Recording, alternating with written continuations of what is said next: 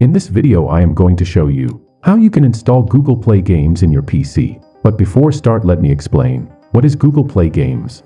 This is very optimized emulator from Google. Also you have dedicated key mapping system. If you playing any Android games in your PC, help of this type of emulators, I suggest try Google Play Games for PC. So without wasting any time let's get started. Before start installation, make sure your system has minimum system requirement, according to Google Play Games. First open browser, search Google Play Games. Go with first link. Download data. Then open file. Install it.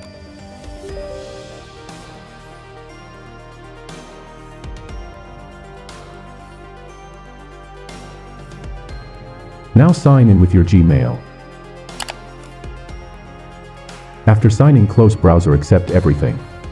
Now you need first download any game. I'll go with Clash of Clans. Click on install. Here is the pop-up. Turn on virtualization settings hypervisor etc. Just click on continue. On the administrator accept. It takes some time. Now we need to restart system. Click on yes.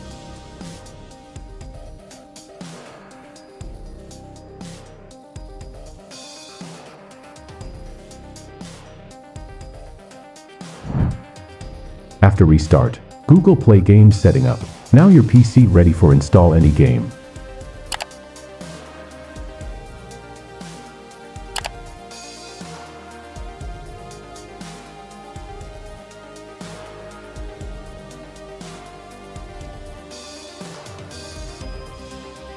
This is on beta, that's why games library is small, but this all games are optimized for playing in PC, and very less than crashes.